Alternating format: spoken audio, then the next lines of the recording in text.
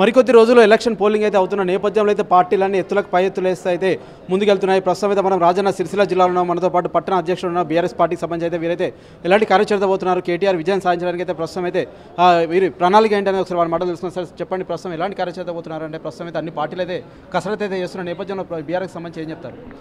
సిరిసిల్ల పట్టణంలో గౌరవ మంత్రి గారు కేటీఆర్ గారు నిదర్శనంగా అభివృద్ధే ఒక భాగంగా పోతున్న మా పిఆర్ఎస్ పార్టీ కుటుంబ సభ్యులు? చేస్తామని చెప్పడం కాదు. ఈ ఎనిమిది సంవత్సరాలు గీ గీ పనులైన అని చెప్పి చెప్పుకుంటూ ప్రతి గడపకు పోతుంటే అలా పథకాల పైన కానీ అభివృద్ధి పైన కానీ స్పష్టంగా కుటుంబ సభ్యులతో సంతోషంగా ఖచ్చితంగా గాయనం కాకపోతే మేము వేరేలకు వేస్తామా? ఖచ్చితంగా కేటీఆర్కే కారు గుర్తుకే వేసి ఇంకా అభివృద్ధి చేసుకుంటామని దిశలో మన మన సిరిసిల పట్టణ వాసులు ఉన్నారు. ఖచ్చితంగా మేము ఊహించిన దానికన్నా మెజార్టీ ఎక్కువనే వచ్చే అవకాశం ఉంది. ప్రతి కుటుంబం ఒక ఒక పింఛన్దారులే కానీ ఒక దశకు వస్తే సిరిసిల్ల రూపురేఖగా మార్చిన గొప్ప వ్యక్తికి మా ఓటు వృధా చేసుకోము. ఖచ్చితంగా ఏ ఫీలింగ్ ఉన్నా ఏది ఉన్నా అవన్నీ పనిచేయి. ఖచ్చితంగా మేము కేటీఆర్ గారికే కారు గుర్తుకే వేస్తామన్న అంత పబ్లిక్ ఆనందంలో ఉన్నారు. ఖచ్చితంగా బ్రహ్మాండమైన మెజార్టీ కేటీఆర్ గారు వస్తుందని చెప్తున్నారు. ఓకే సిరిసిల్ల అభివృద్ధి సంబంధించి అయితే కొంత వ్యతిరేకత అయితే చూపిస్తున్నారు. ఇతర పార్టీలకు సంబంధించి అయితే ప్రతిపక్షాలు కావచ్చు ఇంకా ఇతర పార్టీలు కావచ్చు అభివృద్ధి అయితే జరగలేదు. అంతేకాకుండా కొంతమంది చేతుల్లోనే ఉంది. ఇక్కడ బతుకమ్మ చీరలు కావచ్చు అది కావచ్చు అంతేకాకుండా కొంత వర్కర్ ఓనర్ కావచ్చు అని చెప్పేసి కొంత అయితే చెప్తున్న నేపథ్యంలో ఏం చెప్తారు సార్? ఈరోజు ప్రతిపక్షాలు అనేది ఒక కార్మికునికి వృత్తి కల్పించి శాలరీస్ పెంచాలని ఒక ఆలోచనతోటి కేసీఆర్ గారు పిలుచుకొని అడగడం జరిగింది. గతంలో రెండు రూపాయలు ఉన్న కూలి ఐదు రూపాయలు ఆరు రూపాయలు కార్మికునికి చెందుతుందా లేదా అని పబ్లిక్ మేం మేం కాదు రాజకీయ పార్టీలు కాదు. ఒక వర్కర్ దగ్గరకు పోయి అడగండి. గతంలో దానికి వాస్తవానికి కూలి ఎంత ఉండే ఇలా ఏం కూలి వస్తుంది? మమ్మల్ని అడుగుడు రాజకీయ పార్టీలను అడుగురాదు కార్మికుని అడగండి. గతంలో ఎనిమిది వేల రూ పదివేల రూపాయలు వచ్చే కూలి ఇలా ఇరవై వేల రూపాయలు వస్తుందా లేదా అని కార్మికులను అడిగితే కేసీఆర్ వలన కేటీఆర్ వలన ఏం బాగుపడ్డం అనేది వాళ్ళు చెప్తారు. ఎందుకంటే స్పష్టంగా చూస్తున్నారు కాబట్టి ఇదే మాట కార్మికుల నోట్లకి వింటే మీకు చాలా ఆనందం ఉంటుంది. ఎందుకంటే ప్రతిపక్షాలు అనేటి ఐదుగురికి నలుగురికి కాదు.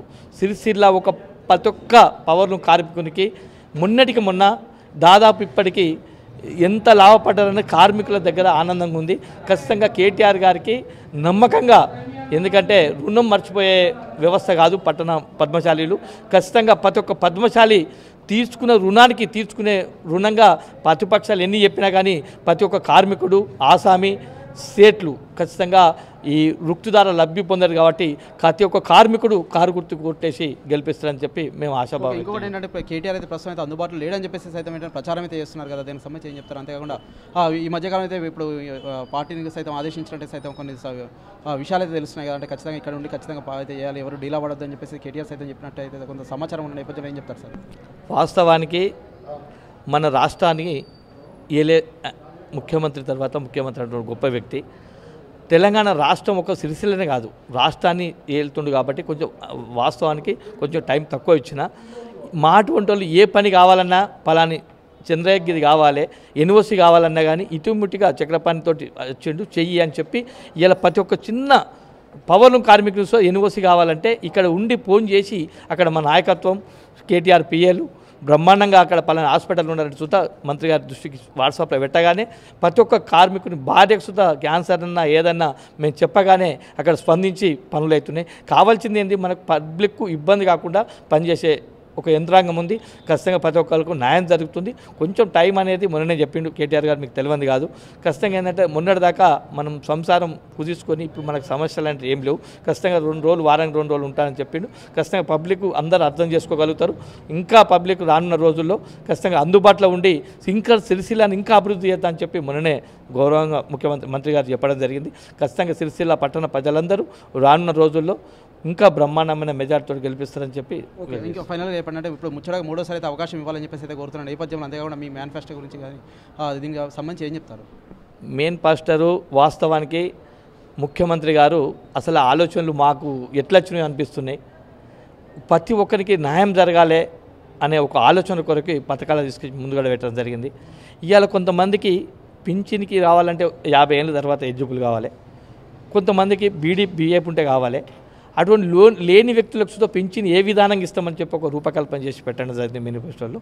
అంతేకాకుండా ఇవాళ ఆడపడుచులకు ఒకే ఒక ఆలోచన సిలిండర్ అనేది గతంలో ప్రభుత్వం రాకముందుకు నాలుగు వందల రూపాయలు కేంద్రం బీజేపీ ప్రభుత్వం రాకముందుకు మూడు వందల అరవై నాలుగు వందల రూపాయలు ఉన్నది. నేను సిలిండర్ పెంచా పబ్లిక్ మన పద్మశాలి అనేది మన మహిళలకు యథావిధి ఉంచుతా అని చెప్పి ఆనాడు గవర్నమెంట్ కేంద్ర ప్రభుత్వం చెప్పడం జరిగింది. ఇలా అదే బీజేపీ ప్రభుత్వం పన్నెండు వందల ఇరవై రూపాయలు చేసింది. దాదాపు ఎనిమిది వందల రూపాయలు పైచిల్లర చేసింది. ఇలా ఆడపడుచులు కానీ అది కానీ నిత్యావసర వస్తువు ప్రతి కుటుంబానికి కావాల్సింది సిలిండర్.